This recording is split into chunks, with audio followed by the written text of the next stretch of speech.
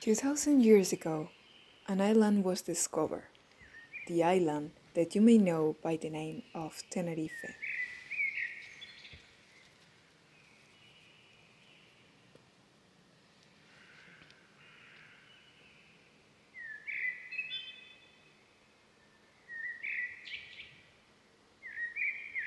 The inhabitants were called the Guanche people.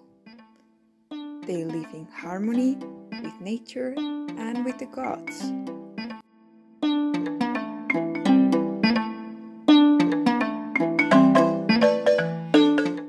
Guanches were most afraid of Guayota, the evil demon living inside the volcano.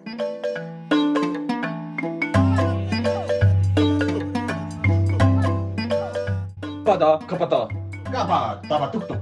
Tuki tuki bani bani.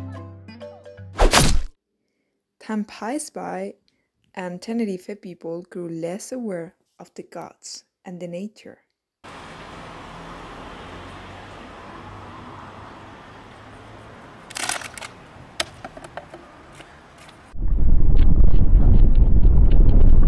That made the demon get very angry.